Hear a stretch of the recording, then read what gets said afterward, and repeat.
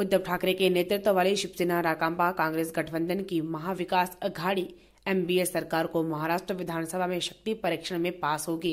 राज्य की दो सौ अठासी सदस्यीय विधानसभा में सदस्यों की गिनती शुरू होने से पहले भाजपा के 105 विधायक बहिर्गमन कर गए। भाजपा विधायक दल के नेता देवेंद्र फडणवीस ने कहा कि जिस अवैध तरीके से मंत्रियों ने शपथ ली और सदन का सत्र बुलाया, उसके खिलाफ बहिर्गमन किया गया। कुल एक सौ उनहत्तर विधायकों ने विश्वास मत के पक्ष में मतदान किया। पूर्व मुख्यमंत्री अशोक चौहान ने विश्वास मत प्रस्ताव पेश किया, जिसका राकांपा और शिवसेना के वरिष्ठ सदस्यों ने समर्थन किया। सेंट्रल न्यूज़ डेस्क से बबली भाटिया की रिपोर्ट।